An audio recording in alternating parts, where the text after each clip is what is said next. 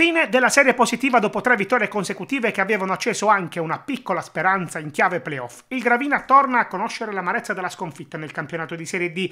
Si arrende di misura 1-0 al Savoia nello scontro diretto andato in scena sul sintetico del vicino Campani, che così blindano il quinto posto ed ipotecano l'accesso agli spareggi.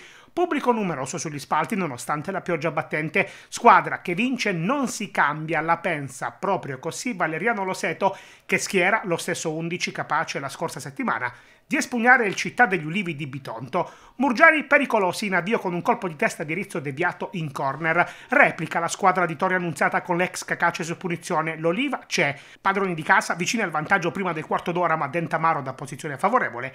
Calcia su Savini. C'è grande intensità, ci sono tanti contenuti agonistici tra due squadre che non si risparmiano affatto. La contesa sembra indirizzata sullo 0-0 all'intervallo, ma due minuti prima del riposo, il Savoia cancella improvvisamente all'equilibrio. Tentamaro sbaglia l'appoggio per l'Oliva Rekic, ringrazia e porta in vantaggio i campani.